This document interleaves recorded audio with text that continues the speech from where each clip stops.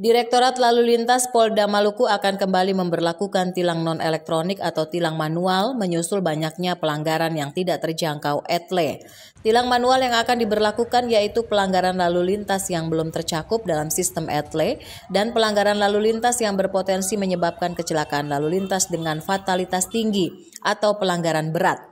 Sejumlah pelanggaran yang dapat ditilang secara manual meliputi pengendara di bawah umur, berboncengan lebih dari dua orang, menggunakan ponsel saat berkendara, menerobos lampu merah, tidak menggunakan helm SNI, melawan arus lalu lintas, melanggar batas kecepatan, berkendara di bawah pengaruh alkohol, kelengkapan ranmor yang tidak sesuai spekteknya seperti spion, knalpot, lampu utama, lampu rem, dan lampu penunjuk arah dan ranmor tanpa plat nomor polisi atau dengan plat nomor palsu.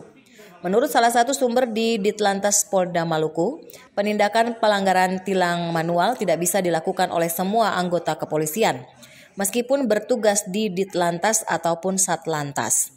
Tetapi penindak adalah personil yang sudah memiliki surat keputusan penyidik atau petugas bersertifikasi penindakan dan pelanggaran dan petugas yang berpangkat perwira lalu lintas.